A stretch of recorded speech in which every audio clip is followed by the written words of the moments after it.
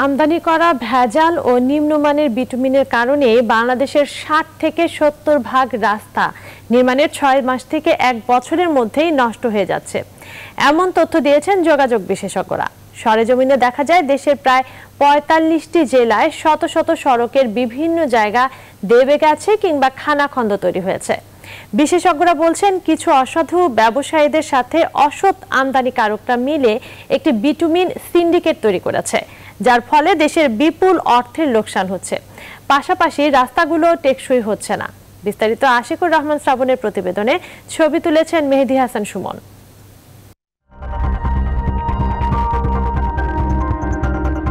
Bitumen, প্রচলিত ভাষায় যাকে আমরা বলি পিচ।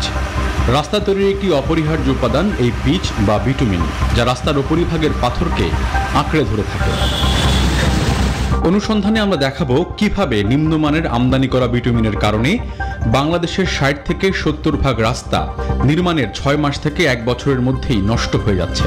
পাশাপাশি জানাব কিছু অসাধু ব্যবসায়ীদের সাথে অসৎ আমদানিকারকরা মিলে একটি বিটুমিন সিন্ডিকেট তৈরি করেছে, যার ফলে দেশের বিপুল অর্থের লোকসান হচ্ছে, পাশাপাশি রাস্তাগুলো টেকসই হচ্ছে না।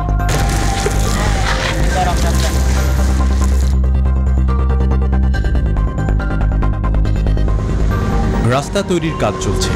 খোলা ড্রামে মান্ধাতা আমলের প্রযুক্তি ব্যবহার করে গলানো হচ্ছে বিটুমিন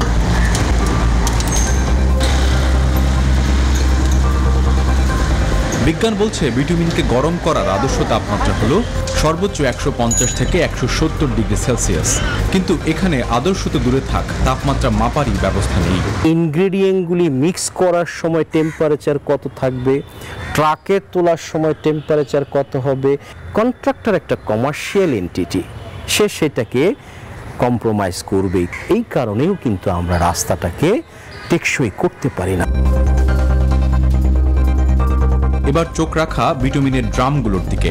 ভালো করে খেয়াল করলে দেখা যায়, এগুলো সবই আমদানি করা বিটুমিন তবে কিছু অসাধু ঠিকাদার একটি কৌশল ব্যবহার করে।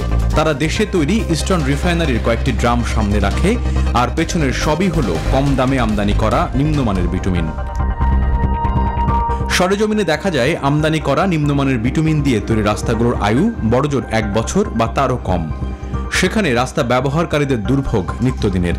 রাস্তা ঠিক করার দু একদিন পরে যে এই অবস্থা কোটি কোটি টাকা খরচ করা হয়েছে। পিচ দেয় নাই ভালো পাথর দেয় নাই এই কারণে রাস্তাটা ভাঙিয়ে গেছে। গত এক বছর উঠবে দেড় বছরের বেশি যায় না। যে আমাদের হয়তো বা ভিটামিনটা ভালো মানের ভিটামিন দেওয়া হচ্ছে না বা পরিমাণ মতো ভিটামিন দিচ্ছে না। যার কারণে কিছুদিন পরে আগের বেহাল দশায় চলে যায়। এতে জন দুর্ভোগ আমাদেরই হয়। বিশেষজ্ঞরা বলছেন, নিম্নমানের আমদানি নির্ভর বিটুমিন ব্যবহারে রাষ্ট্রের ত্রিমুখী ক্ষতি হচ্ছে। এক, বৈদেশিক মুদ্রার অপচয়। দুই, টেকসই উন্নয়ন হচ্ছে না। আর তিন, কিছু অসাধু ঠিকাদার আর অসৎ ব্যবসায়ীদের সিন্ডিকেট ভাঙা যাচ্ছে না। প্রধান কারণ হলো ভিটামিনের সাথে পাথরের যে বন্ডিং বা লেগে থাকার যে প্রবণতা, সেটা নষ্ট হয়ে যাচ্ছে। নষ্ট হয়ে যাওয়ার পিছনে আমরা ভিটামিনের খারাপ কোয়ালিটি এটাকে প্রধানত দায়ী করি। আমদানিকৃত ভিটামিনে প্রথমত অনেকদিন শিপে থাকে, উৎপাদন উচ্চ আমরা কেউ বলতে পারি না। ফলে এদের কোয়ালিটি আমার সবসময় আকাশ পাতাল পার্থক্য হয়। এমন একটা শিপ থেকে আমি ভিটামিন নিচ্ছি, যেই শিপটা তিন চার মাস সাগরে ভাসছে, সেখানে শিপের স্লাজ শিপের অয়েল ইঞ্জিন অয়েল সেগুলো মিশানো হচ্ছে, গাড়ির ইঞ্জিন অয়েল মিশানো হচ্ছে। বিশেষজ্ঞদের পরামর্শ, টেকসই সড়ক উন্নয়ন করতে হলে দেশীয় ভালো মানের বিটুমিন ব্যবহারের পাশাপাশি নির্মাণ কাজে তদারকি বাড়াতে হবে।